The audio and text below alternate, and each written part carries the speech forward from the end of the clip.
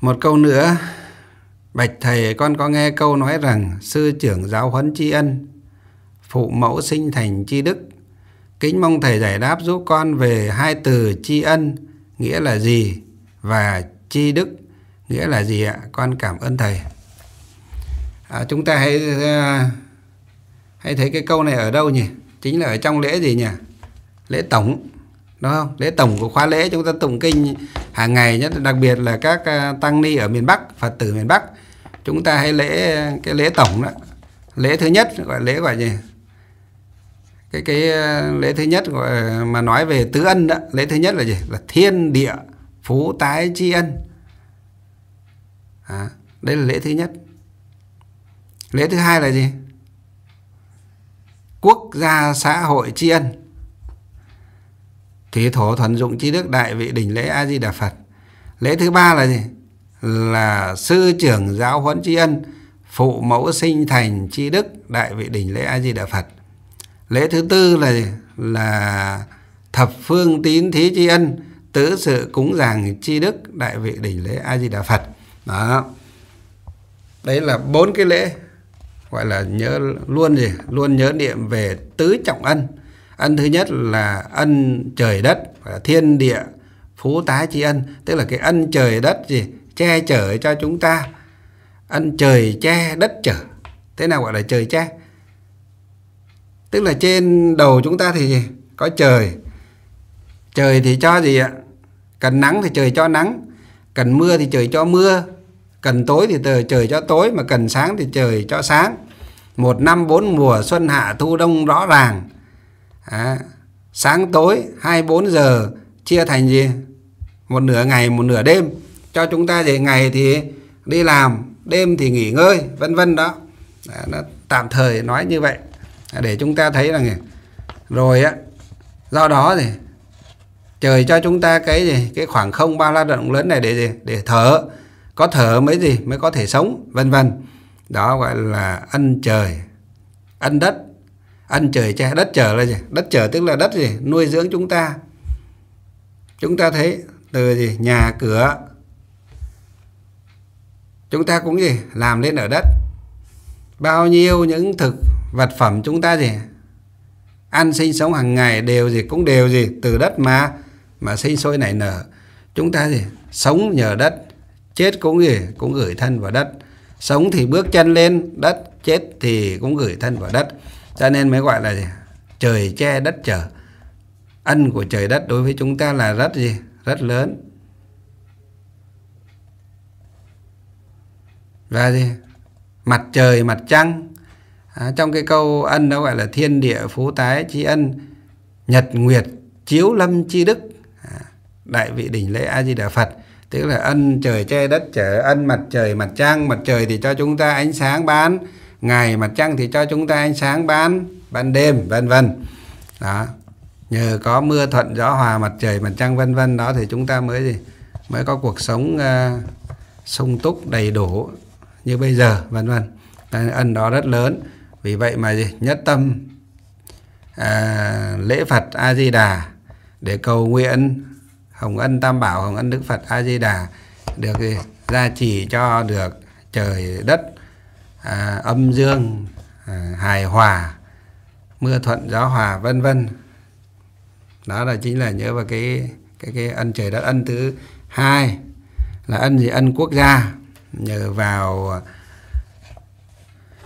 sự à, giữ gìn từng à, tấc đất ngọn cỏ của quốc gia của đất nước mà chúng ta là tăng ni phật tử chúng ta được bình an vô sự để sống và tu tập học pháp vân vân. Đó cho nên cái ân đó đối với quốc gia là rất lớn. À, nói sơ qua vậy. Còn à, cái ân thứ ba mà phật tử hỏi này à, chính là cái câu sư trưởng giáo huấn tri ân phụ mẫu sinh thành tri đức đó. À, thì cái câu sư trưởng giáo huấn tri ân chữ tri ân ở đây là chữ tn r viết chữ hán lại chữ tri ở đây là là biết. Tri ân có nghĩa là biết ân phải biết ơn. Chữ ân ở đây tức là ơn. Còn để chữ nghĩa Việt Nam tức là ơn. Tri ân tức là gì? Phải biết ơn. Chữ chi có nghĩa là biết. À. tri ân tức là phải biết ơn. Biết ơn ai? Sư trưởng.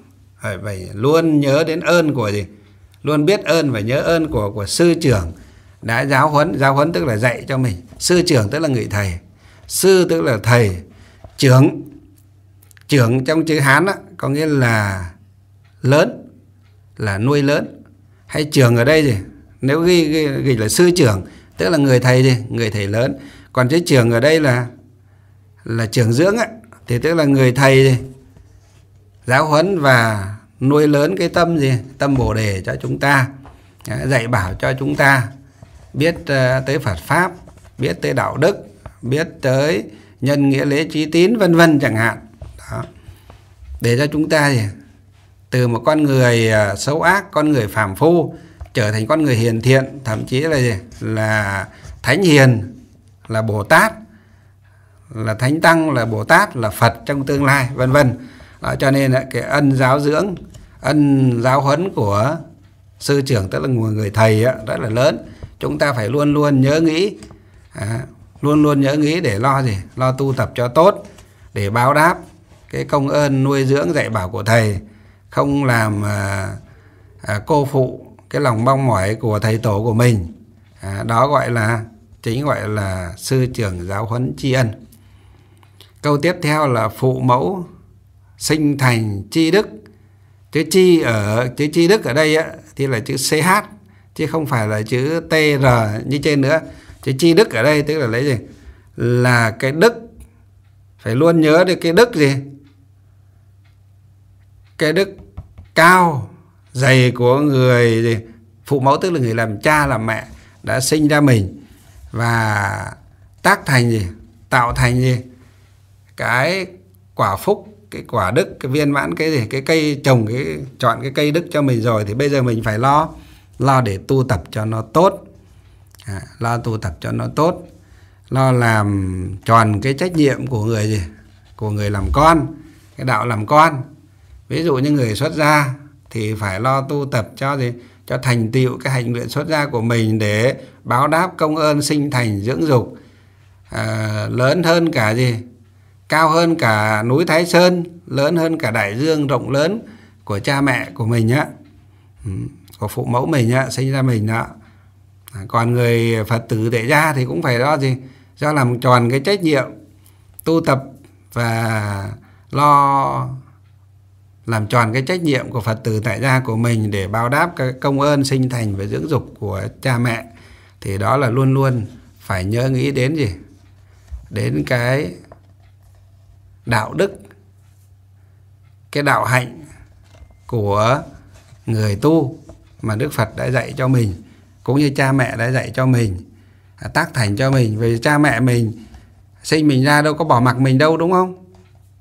Cha mẹ chúng ta sinh chúng ta ra dẫu cho gian lao vất vả, cùng cực, nhưng vẫn gì? Vẫn lo cho chúng ta được đi học, đi hành. Cha mẹ chúng ta có thể bớt ăn, bớt tiêu để để lo cho chúng ta học hành, để lấy cái chữ. Để có cái chữ. Để từ cái chữ rồi, có cái chữ rồi để thì chúng ta thì có thể tự phát triển. Hoặc là nương vào đó chúng ta có thể gì? Có thể nuôi lớn cái gì?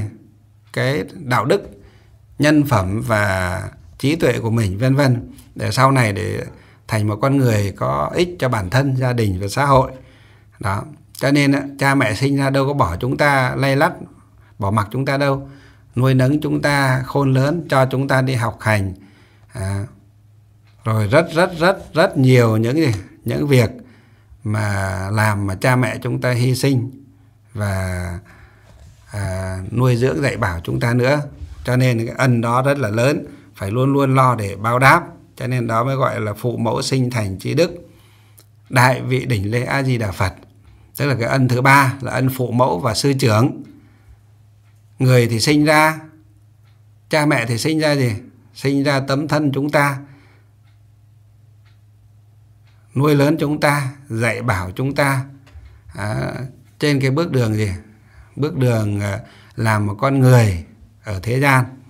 Thế còn khi mà được học đạo hoặc được theo thầy học đạo thì chúng ta gì? Được sư trưởng tức là người thầy dạy bảo chúng ta giáo pháp giải thoát giác ngộ để từ cái chỗ mê ra chỗ giác. Cái chỗ này thì à, gọi là ở trong à, người xuất gia chúng tôi á, thì gọi là phụ mẫu thì trao cho tấm thân này. Còn sư trưởng thì trao cho gì? Giới thân tuệ mạng hay là gọi là giới châu tuệ mạng để để bước lên con đường giải thoát giác ngộ, công đức lớn lắm. Cho nên phải cố gắng giữ gìn